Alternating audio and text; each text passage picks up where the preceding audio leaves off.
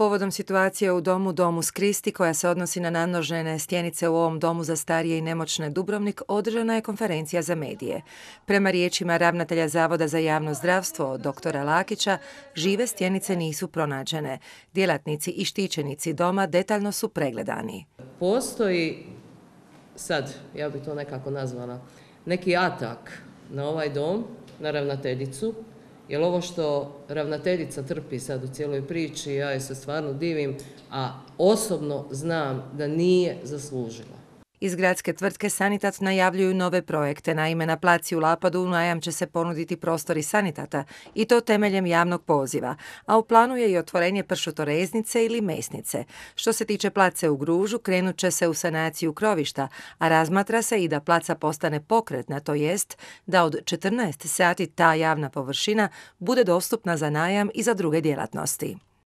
Uoči treće dramske premijere 69. Dubrovačkih ljetnih igara u festivalskoj je palači održana konferencija za medije. Riječ je o predstavi pod balkonima Ranka Marinkovića koja će se u režiji Darija Harjačeka i dramatizaciji Vedrane Klepice održati 18. kolovoza u parku Sveučilišnog kampusa.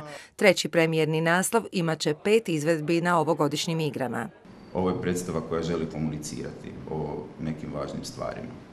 U petak 17. kolovoza u organizaciji Župe Svetog Mihajla na terenu pored crkve počinje treći turnir na Male Barice Sveti Mihajlo 2018.